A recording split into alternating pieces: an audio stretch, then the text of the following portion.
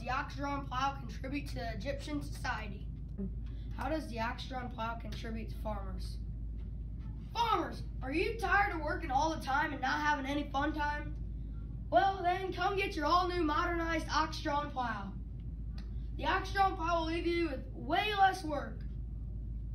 You can you can now have time to do whatever you want to do on your free time because all your work will be done thanks to the ox-drawn plow.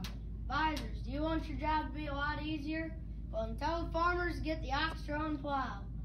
Are you are you tired of hunting down the farmers about their taxes? Well, if they have the ox-drawn plow, the farmers can get their work done, and you can get their taxes on time, and they will be paid.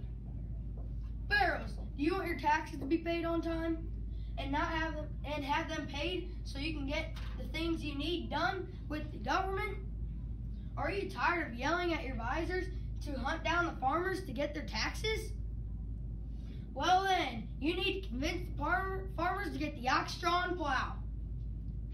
Think about it. If the farmers get the ox-drawn plow, it will leave you with way less stress. But only if the farmers get the ox-drawn plow.